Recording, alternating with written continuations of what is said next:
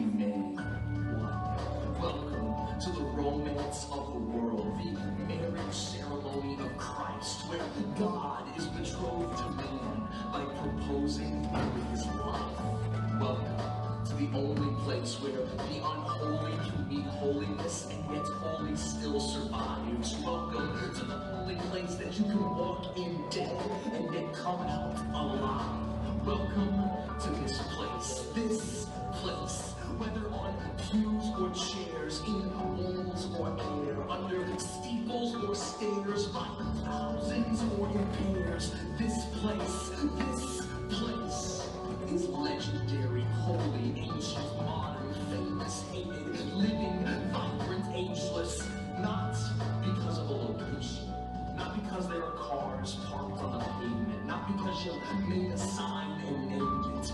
This place is an amazement because of the one who creates it.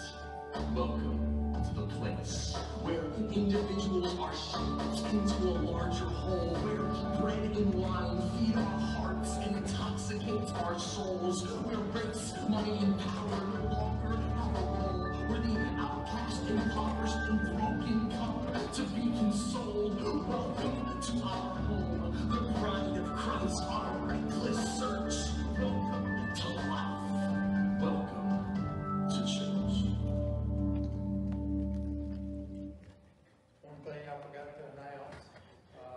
come. It is three thirty. Yeah, three thirty. Anybody wants to come help, we're gonna put up the Christmas tree, okay? All right, Cody's still quarantined, you can go ahead and do that one. Cody's still quarantined, uh, so we're gonna worship on, on, on music today. Uh, it don't matter, uh, whether he's here, or uh, we love for him to be here, don't get me wrong. Um, what an anointing I believe that he has, um, to sing the Lord. Um, but we're gonna worship uh, the intercom today, um, but it don't change how we worship today. Uh, the Bible says that we enter his court with praise and thanksgiving, I say that every Sunday. So let's come in here today to have church. Be excited about Jesus. He's excited about you, I promise you. Um, I've got a message on temptation today. You see, temptation is always trying to take us away from God. And the temptation of the doubt and the fear, the temptation of the stress, the temptation of what's going on outside this room is there. You know, temptation to think about something outside something's going on in your life. It's there. But there's also an opportunity to crucify that and get into his court for praise and thanksgiving. So it's up to you what you do today. Gracious Heavenly Father, we love you, Lord. We thank you, God. We thank you for an awesome God, Lord. Lord, we do lay at your feet these victims of this coronavirus, Lord. Lord, James's sister Deb, Lord, Michael Stansel, and many more around our area, area that's sick and across this nation and across the world, Lord. We lay at your feet, Lord. Heal those, Lord, that, that you that you want to heal, God.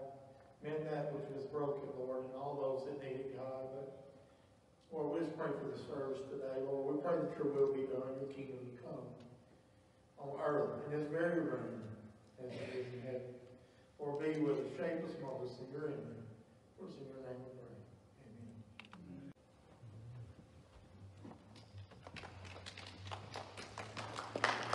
Amen. Well, you're coming coming, you're going, He is for you, He's with you, He's preventing you. How awesome is that, to know that He never leaves us nor forsakes us. Amen. Good to be here. Good to, good to be in the house of the Lord today. I'm excited, I'm excited for His word. I'm excited for what God has for you. Um, because I prepared it, because He prepared it, I really believe that this is an issue that we all deal with. Um, um, temptation. Good to see you, Joe. I just noticed you here, brother. Glad to be here. That's one of my, my friends. Joe, he, he come in, he, he from Orlando. He loves our church. Um, he come and hunted last year. And, um, I want to honor him. He's, tied to the church ever since he left, and thank you for that, brother. Um, um, but we're here to serve the Lord, and I'm, I'm here to tell you that God has a plan for you today, right? And the plan keeps us from this thing called temptation. Uh, something that we all deal with. Um, it's something that is our greatest enemy is temptation. If we could beat temptation, then we'd have the sin thing whooped, amen? Uh, sin is, is, is, is the root, is the cause, and but temptation comes before the sin. But see, being tempted is not a sin. I want you to know that today. Being tempted is not a sin. Jesus was tempted. The Bible says that the Spirit led him into temptation. Spirit led him the wilderness for 40 days to be tempted. So temptation is not the sin. It's something that we all deal with. It's something that, that continuously tries to grab us, snare us. at the wall of the devil. The Bible says that Satan uh, is like a roaring lion seeking whom he may, devour. How does he devour you? He lets temptation enter your life, and you fall for that temptation, and, and voila, um, sin becomes sin. So I want to talk to you about temptation today. and I'm going to get right to the gist of it. If you want to turn your Bibles uh, uh, to 1 Corinthians, um, is where I'm going to start. Uh, the Bible says in 1 Corinthians chapter 10, and starting in verse 12, it says, Wherefore let him that thinketh he standeth take heed lest he fall. Standing. Where do you stand today? You're standing in something. You're standing in joy. You're standing in love. You're standing in comfort. Standing in the fruits of the Spirit. If you know Christ, then, then being a Christian is part of standing in the fruits of the Spirit. But sometimes we stand in, in different areas in our lives. Sometimes we may stand in, in doubt. Sometimes we may stand in fear. Sometimes we may stand in lust. Sometimes we may stand in, in um, the desires of this world. But when we stand for Christ, when we stand in His ways, then there's no temptation that He won't give us a way out of. Look what the next verse says.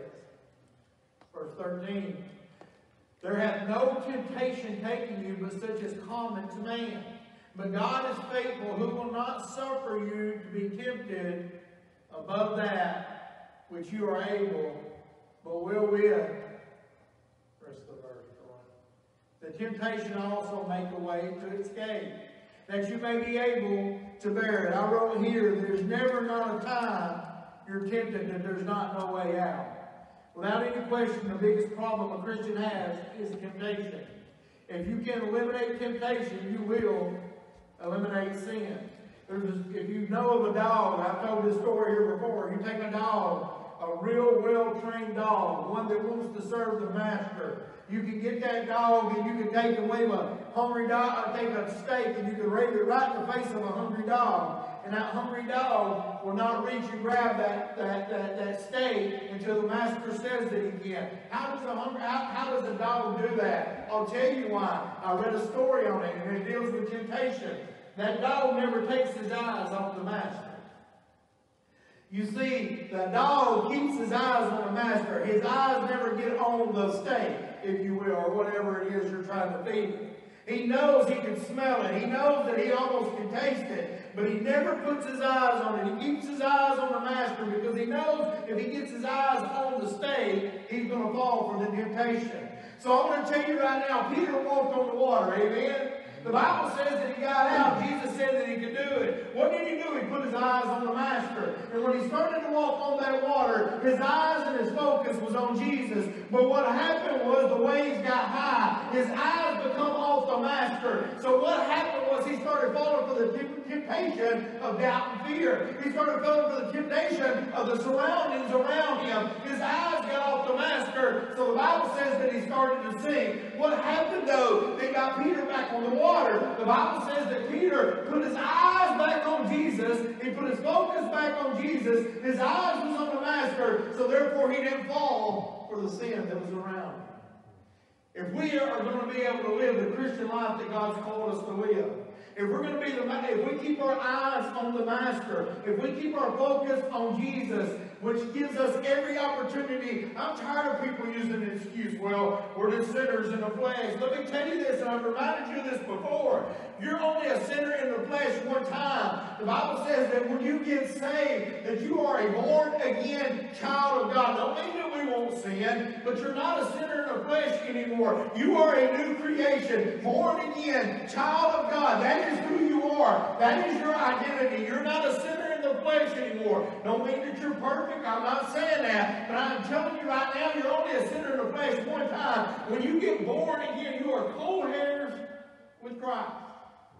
When our focus is on Him, when our eyes is on Jesus, the temptations that's around us and that, that come against us, the wiles of the devil, the opportunity to get out of that thing is there if we got our eyes on the Master. You see the story of the dog, he never looked at the meat. If he had, if he would have looked at the meat, the temptation would have been too great to overcome. So he looked steadfastly in the master's eyes and never took his eyes off of him. Satan knows how to dangle that thing in front of your face. Amen. He knows how to lure you he knows your weakness. What did I tell you? He's like a roaring lion, seeking him make power. Hey, we know as well as anybody, and I've told this story here before, that, that, that the uh, lion always goes after the weakest one.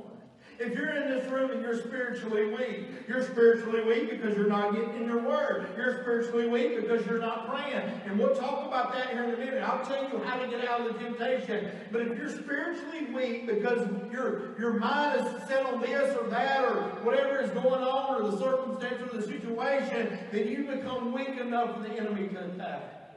Yeah. And therefore you will fall for the temptation. It just said, unless you fall. Today, get your eyes off the temptation and get your eyes on the Master. If you have tr- trouble focusing on Jesus in the midst of the trials and temptation, you haven't learned how to live a Christian life. Christian life is knowing the presence of Christ, knowing that He never leaves us, that He's around us, that He's in us, that He's before us, that He's behind us. Being a Christian is knowing that God never leaves thee nor forsake thee. Being a Christian knows that God is in the middle of everything.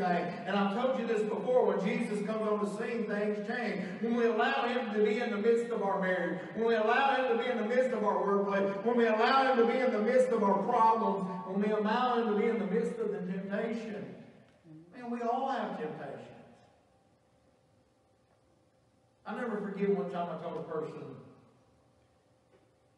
foolishly. I was like, man, he was talking about a struggle that he had. I said, man, I don't have to deal with that. I never deal with that temptation. I never deal with, with, with the temptation that, and there was a lot of highs in that. Put back in scriptures up there, start with the first verse again, boy, the first one that I gave you. First Corinthians chapter, wherefore let him that thinketh he stand take heed lest he fall. I told him, I said, I never fall for that temptation. I never deal with that issue. From that moment on, I started struggling with the same issue that person was. There was too many eyes in there. Take heed unless you fall. We need to realize that, hey, without Jesus, we will fall. Without Christ being part of our life, without us keeping our, when we take people, listen to me, when we put self in control, then we will fall. Next verse. Therefore have no temptation taken you but such as common to man. How is it common to man? I want to tell you something. We're going to learn about Jesus here in a minute. But I want we, we want to learn that he has dealt with the same temptations the Bible says that you deal with. Sometimes we feel alone. Sometimes we feel like there's nobody around. But I'm telling you, man, that Jesus is dealing with the same temptation. Why would Jesus deal with the same temptations that we deal with? Because he wants to know the depths of our infirmities. He wants to know how much that, we, hey, how, how enticing things is, so he knows how much mercy you need. Amen. I need mercy. I want to tell you right now, the only difference in me and that guy that was out there all night partying and drinking and drugging, that guy that was out there with the needle in his arm, is mercy and grace. That's it.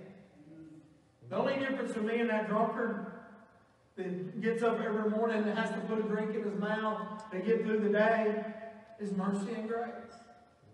So without that mercy and grace, without that, without that gift that God's gave me, without that free gift of salvation, I'd be out there doing the same thing if not dead right now. So I need mercy and grace. More grace. More. And I want to tell you, God's got more grace. He's got more mercy. He's got more love to override your shortcomings, your setbacks, your, I can't do it. Man, there's nothing to make me more mad than anything for my son to say, I can't. Why can't you? I can't. And I want to tell you, there's too many I can't when God says I can do. All things through Christ which strengthens me. I can't overcome the sin of eating. Whoa. I'm just talking about myself. Yes, I can. I can do all things. If I keep my eyes on Jesus and focus on Him and get my eyes off the temptation, and that may just seem little to you. Maybe you're struggling somewhere else. I can't not get angry. I can't not lose my temper. I can't not focus on the situation. I can't not worry. Well, mamas is going to worry. That's a lie straight from the pits of hell. Mamas choose to worry. When the Bible says, worry for nothing but with prayer and supplication, make your request known unto God. There ain't nothing wrong with being concerned about your children. Ain't no wrong, nothing wrong, but you better be giving them children to Jesus and trusting in Him to take care of them. Instead of worrying and stressing on yourself. I'll never forget how my aunt and my cousin, well, man, he was on drugs really, really, really bad. And I'll never forget, we got him in the ranch down there. And I'll never forget the, the, the, the moment that, that, man, we was, I was taking him in there. And, and man, most addicts, and right before they go in a program, they're going to go, they're going to go get spun out before they go. They're going to go get high just live it up right before they go. And man, I picked him up, man, he was just, I mean, he was blitzed and I'm bringing him down there to the ranch. And his mom was so excited because she knew I was preaching down there. She knew what, what would happen. And she, she was a spirit-filled woman. And I, I'll never forget, I'm on the way down there, and I'm friends with his probation officer. He calls me, and he said, bring him down there before you go. And, I, and I'll never forget, I, I pulled him in there, and, and man, they arrested him right there on the spot. When he went out and done his little thing, his little trip, he went so dope to an undercover cop. And, and, and, man, it was a, they locked him up. They didn't let him go to the ranch. And I'll never forget having to drive home to his mama and, and look at his mama in the and saying he didn't get to go. Uh, they, they arrested him. And boy, she just fell down on the floor. Uh, I mean, like a, this dropped like a bag of hammers and, and started squalling. I couldn't believe it. And all of a sudden she just jumped up. She started praising God. I'm like, how in the world? You see, this woman had a faith that God had a plan. She had faith that God had something better. The temptation of falling on her face and trusting in herself to get through the problem and trusting in her emotions and her feelings was, was, was overwhelming and she fell down, but all of a sudden something happened. But God, and I'm going to tell you right now, there may be situations in your life right now that you can't see no end to. You can't see no good in. It. You can't see no end, the good, good outcome of it. I'm telling you right now, God has a plan for you, and the plans are to prosper you, not to harm you. That man went in there, he got, he, he got in jail for a little while. They let him go to the ranch. He went down there, he come out of that ranch. After about four or five months, he started preaching the Word of God. I'm telling you, God has a plan, it happens. We just got to get on board with God's plan. We got to get out of the temptation of doubt and fear and worry and stress, hurt and pain, and lust of the flesh, lust of the eyes, the pride of life. I know everybody in here probably, except most of me anyway, deal with the lust of the flesh, the lust of the eyes. I gotta have it. The pride of life. It's all about me. Every one of us deal with me sometimes. I'm the world's worst. I gotta get mine. Huh? It's gotta be about me. I gotta sit in the best stand when I go hunting. I gotta, I gotta win every ball game. I gotta, whatever it may be. Life's about me sometimes, a lot of times, most of the time. And we've got to get out of that. That's a temptation that lures us to self-please and self-indulge and self-habit. I want to tell you, it's not of God. If you have trouble focusing on Jesus, I like that, in the midst of the temptation, you haven't learned how to live a Christian life. When temptation comes, our focus better be on the Master. Christian life is knowing the presence of Christ in your life. It's praying without ceasing. It's setting your affections on things above. How many of us in here really do that? Well, I'm so emotional. How many of us are setting our affections on things above? How many of us is living, living kingdom mind sitting in heavenly places? The Bible says that we have opportunity to sit in heavenly places. I want to tell you, if we're sitting in heavenly places, there is going to be no doubt, there is going to be no fear, there is going to be no sickness, there's no stress, there's no thing. When our mind is sitting in heavenly places, we can do all things through Christ, which strengthens us. Hebrews chapter 3 says this. It up there, Troy, if you don't mind. Hebrews chapter 3, verse 14 says this Seeing then that we have a great high priest, this is so good, y'all, that is passed into the heavens. Jesus, the Son of God, the Master, the one that we keep our eyes on. Let us hold fast our profession. Do you profess Him?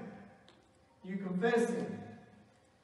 For we have not a high priest which cannot be touched with the feelings of our infirmities, but was in all points tempted like we are, yet without sin. Let us therefore come boldly. Come on, somebody. How many of us is really going boldly to the throne of God?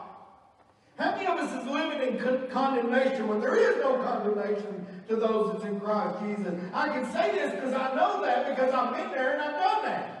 How many of us can go boldly to the throne of God knowing who we are? How is that even possible that we can go boldly to the throne of Jesus? It's the same way when we bow our knee to Him on the day of judgment. How can we go up there? And I've told you this before. And, and Him say, Good and faithful servant, there's nothing good in me. There's nothing good about me. Only through Christ is there any good. No man is righteous, no, not one. So how in the world can I go boldly to the throne? It's because the blood of Jesus covers me.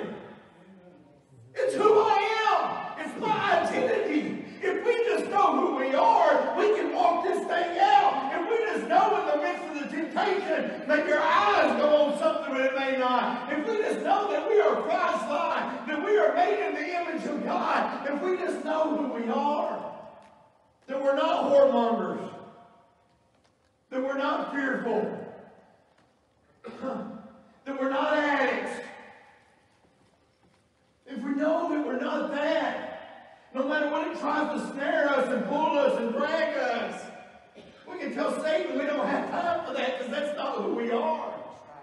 I'm not, listen to me, I'm not a fearful, I'm not a fearmonger. I'm not a, a whoremonger. And that, that, hey, listen to me, I'm not talking about when you're body, I mean, you can be a spiritual Jesus said that you commit adultery. How did he do it? He was talking about you commit it spiritually. You're cheating on him. So when we indulge in, in and other things, we're, we're committing spiritual adultery. Amen? But if we know who we are, if I know that I am a child of the King, that I know that my destiny, my future, my everything is based on who I am in Christ, when I know that, it will change me. It will change my thinking. It will change my emotions. It will change my identity. Wow. Look at here. Let us go boldly. How can we go boldly to the throne of grace? That we may obtain mercy and find grace to help us in the time of need. oh my goodness. Why do we need mercy? Because we're a mess. Amen? Maybe you just gotta polish your crown once a week. I don't know, but I'm a mess. Come on, Brian could be a, a, a, a dummy sometimes. I don't want to say idiot. promotion just as much as the next guy. I can get my heart set on a ball game or, or whatever just as much as the next guy. I can take too much, I, I can lose my temper just like the next guy. So I need grace, I need mercy. I make mistakes. Your pastor makes mistakes. Hebrews chapter, Hebrews chapter 2, verse 18 says this.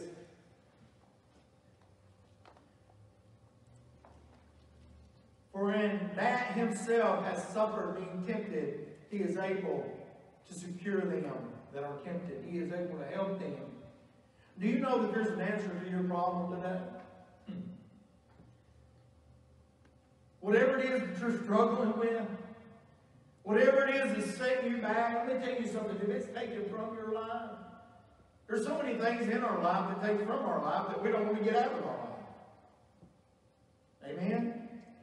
Man, I'm not worried about this. I don't care what happens. It's my little baby. I'm going to take it. I'm going to cuddle it. There ain't nothing, I don't want it. I mean, I hate this worry. I hate this stress. I, I hate this problem that I have. But I'm not going to give it to Jesus. I might come up pray about it, but I'll pick it right back up and I'll leave. Whatever it may be, there's so many things that God wants to take from you, deliver you from. Whether it's a little habit that you have that you know is taking you from God and not to God. Whether it's just a, something that you're doing on the side, or maybe it's something simple and a little leaven's a whole loaf. Maybe it's just something that it's just who you are. Let me tell you, it's not who you are. You're not a word word. God says, I want to heal you, cure you, mend you. He said, I come to mend that which is broken. But you got to lay the baby down, if you will. You got to allow God. You got to get rid of the temptation. I wonder if we had a a, a, a, a truth sermon here, if you will, and that we told exactly what our setbacks is and our hurts and our, I don't want to know. He already knows. Amen. He already knows. He's just sort of like a, I love for my son to ask me for something. I know what he wants most of the time. But I like for him to ask. I want to hear it. God wants to hear you today. For in himself hath suffered temptation. He has suffered temptation. He is able to help thee, cure thee to those that are tempted. I wrote here, for we have not a high priest who cannot be touched with the feelings of our infirmities, but was in all points tempted as we are. He knows how you feel today. For in that he was tempted, he is able to help those that are tempted. Why do you think Jesus went into the wilderness? We'll go to that. Matthew chapter 4. Matthew chapter 4. Boy, I think I'm, I start from verse 1. Yes, there you go.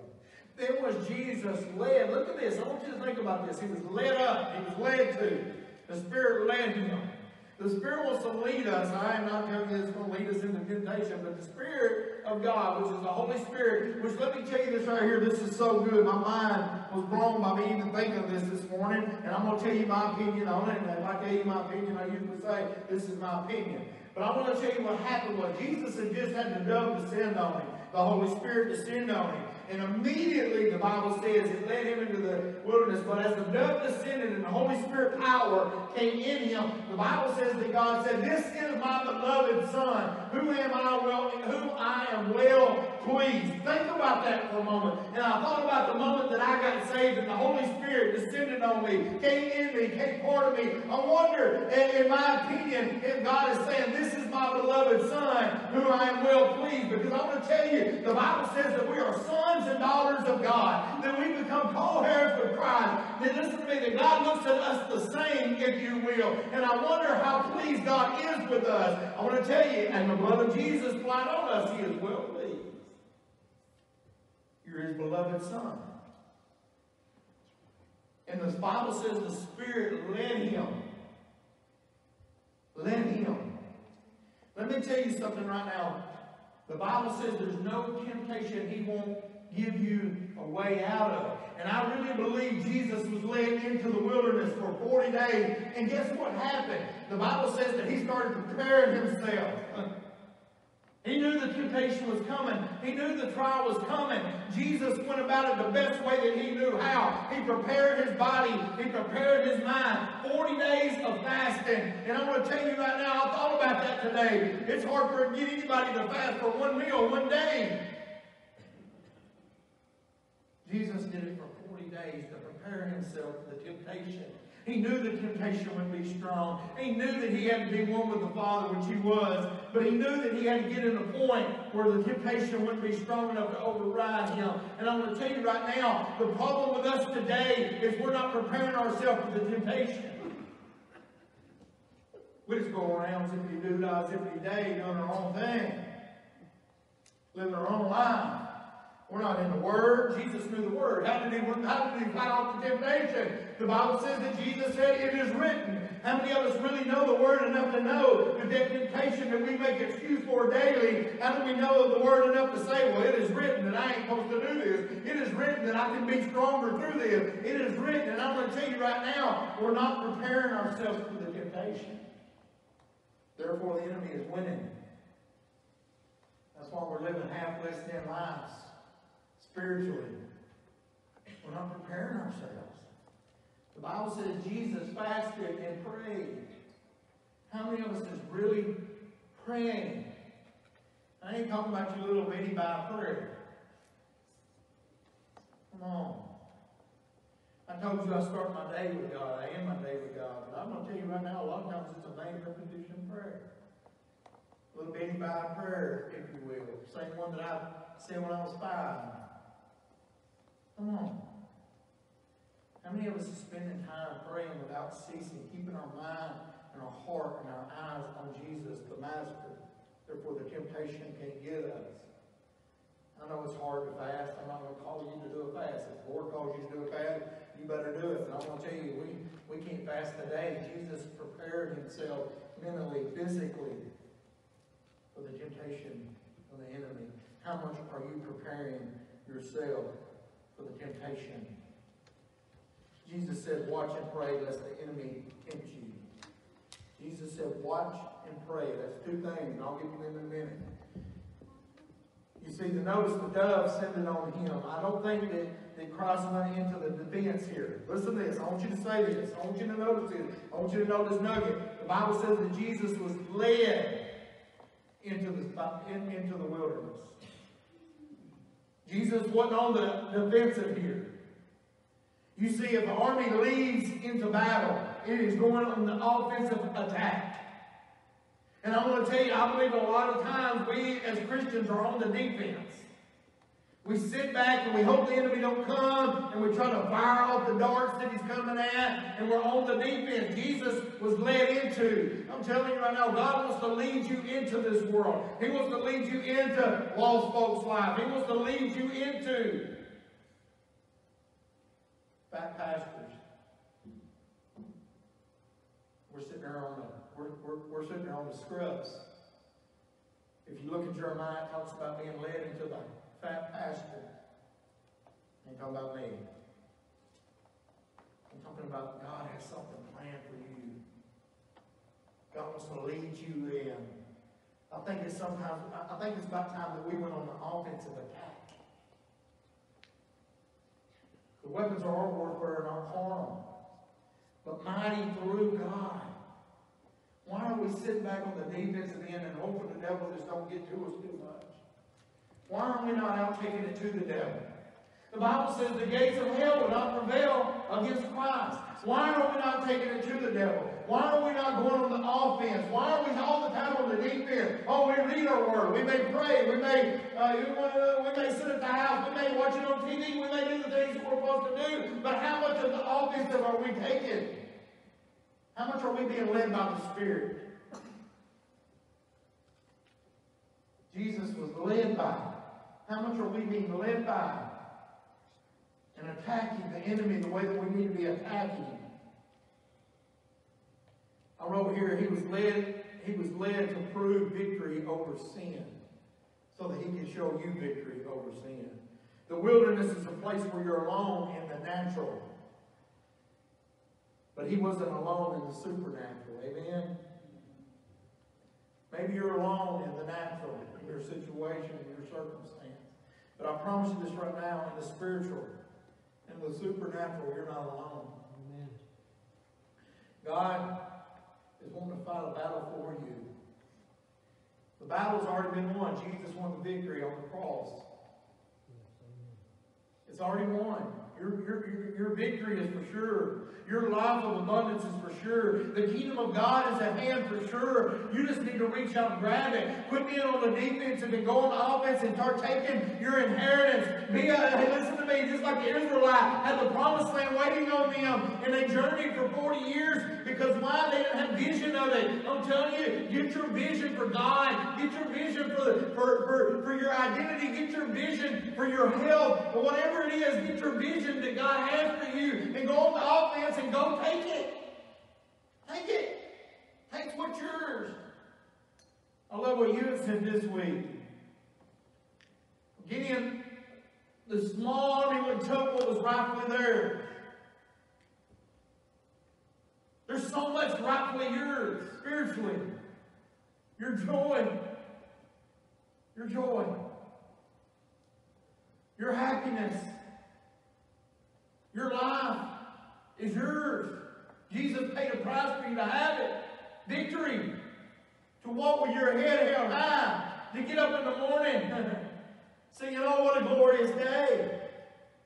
But you've got to take it. You got to go after it. I was going to preach on fire this morning, and I may next week, I may the week after. I've been kicking two or three messages around. Hosea and Gomer being one of them. But the fire don't fall unless there's a sacrifice. I want to tell you right now, if you want fire to fall from God in your life, you must sacrifice yourself. You must deny yourself. You must die to your emotions, your feelings, your situations, your shortcomings. Let Jesus come into it. Let the fire fall in it. You must sacrifice. Amen. Amen. Amen. Real quick, last verse, and I'm going to close. Ephesians chapter 6. I did a whole four, five, six, whatever part message on this. And I want to challenge you. I challenge you to do this. And I ain't done it as much as I should. But I'm going to give you a little, little, little setup for what God's wanting to do and what I feel like this morning through prayer, what He was telling me to tell you today. And I want you to try this. If you want me to take picture takes it to you, I will. I'm going to get my wife to print out some if you want one of them. But I'm going to tell you a, a way that we can wake up in the morning and we can put on the armor of God. But look at here. Finally, my brethren, be strong in the Lord in the power of His might. In our own self, we can do nothing. Wake up in Brian Scott every morning, I will walk out in my emotions, my feelings. It don't matter how good life is. I'm always concentrating on the bad things if I'm not concentrating on God. You'll concentrate on the problems in life. You'll look at the glasses half full. We are born, most of us are born to think negative in our life without Jesus. We got to know Him. We got to walk in the power of His mind. If I'm going to overcome temptation, whether it's a, a, a eating disorder, whether it's whether it's fear, whether it's doubt, whether it's stress, come on, that's a big part of my life. If I'm going to walk that out, I'm walking it out in me, but if I can do it in the power of His mind, I can overcome it. The Bible says that we're more than overcomers. Greater is He that is in us than He that is in the world. There's every opportunity for us to live out the, the, identity that Christ has for us.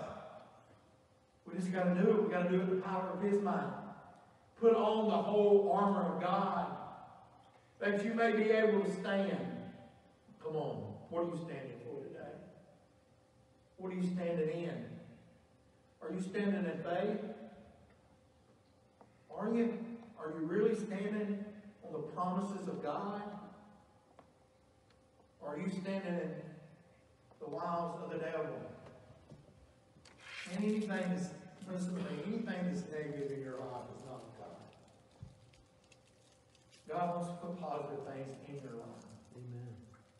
Paul can write the book, uh, I, I think it's two thirds of the New Testament. He could write that by having the joy of the Lord when he was in the middle of trial, when he was in the middle of temptation, when he was in being beaten and shipwrecked and stoned and jailed. He wrote that. And I've told you this before, I know, but he had something on the inside that the outside couldn't take. I'm sure Paul was praying without ceasing continuously, mind on Christ, eyes on the Master, eyes on the Master.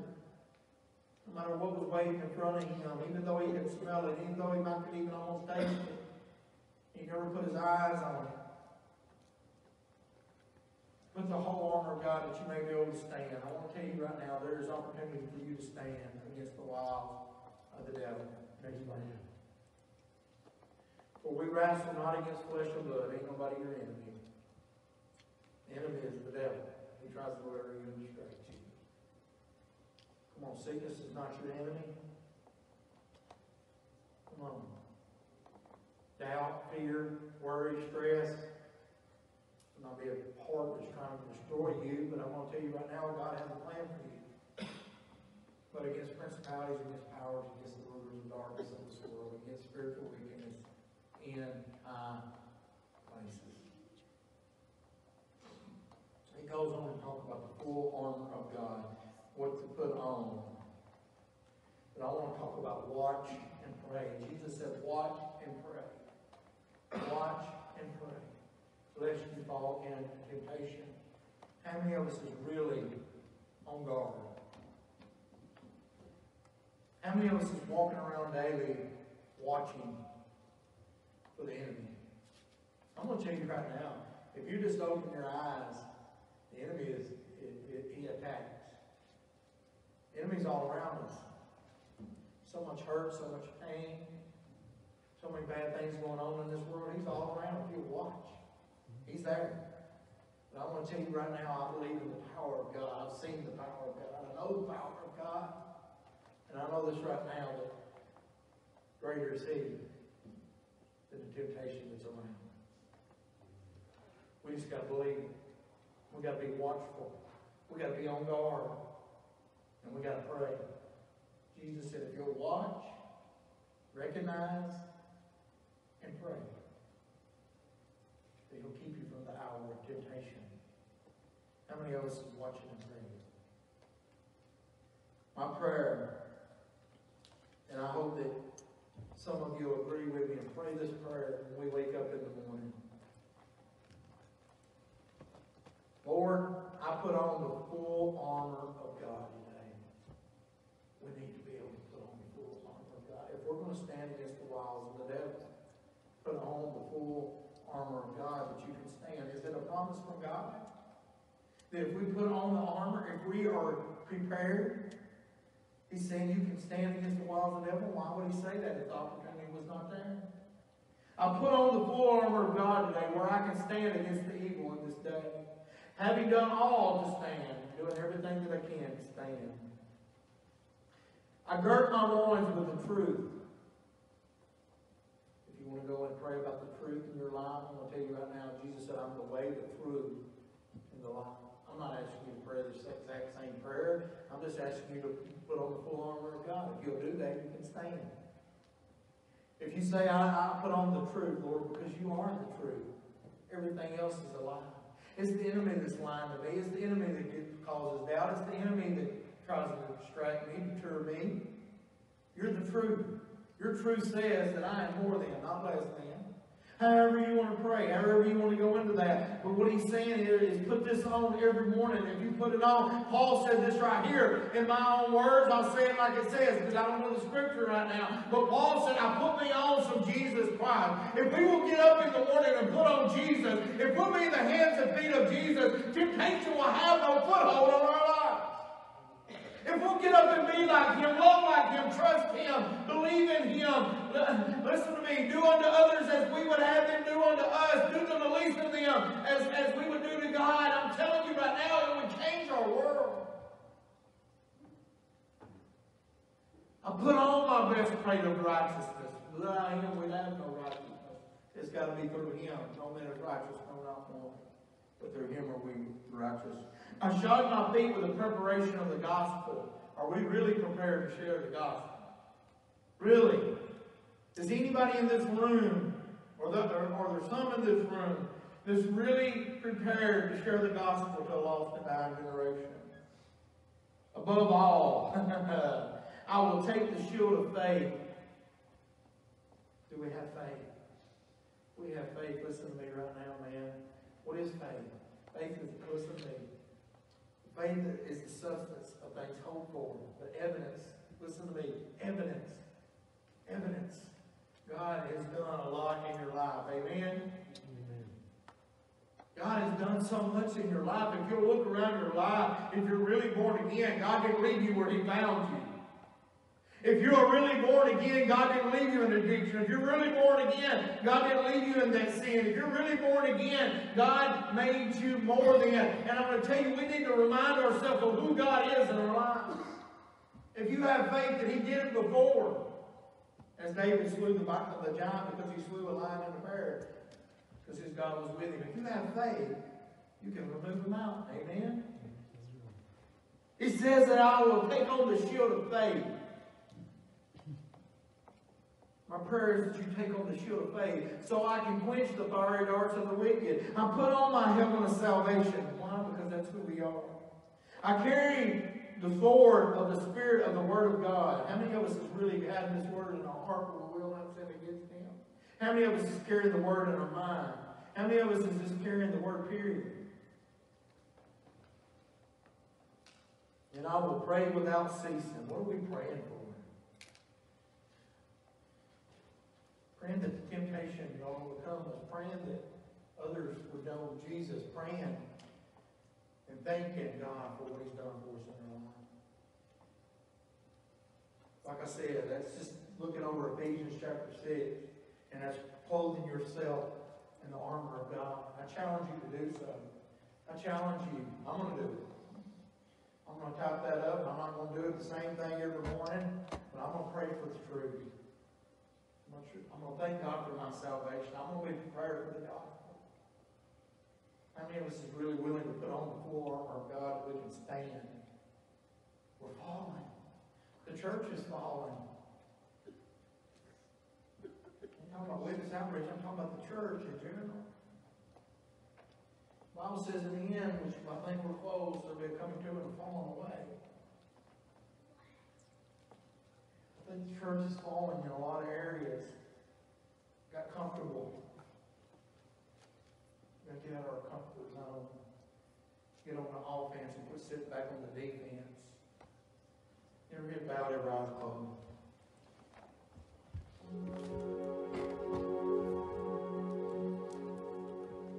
The opportunity,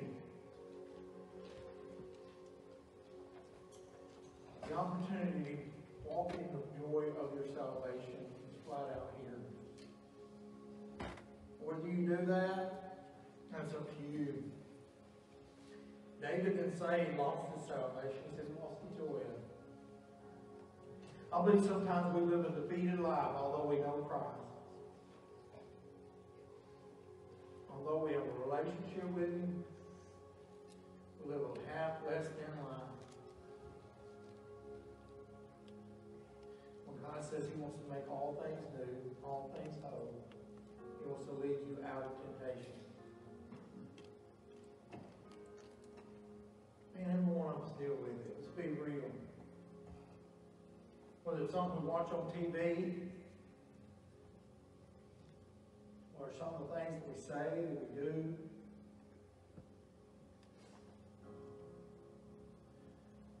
How do we overcome it? How do we beat it? Power of His mind. We got to put on the armor of God that we can stand. The Word of God promises if we put on the armor of God that we can stand. The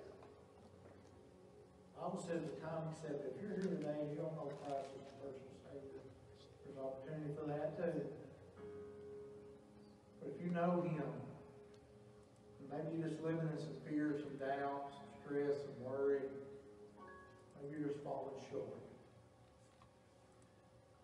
Jesus would never leave you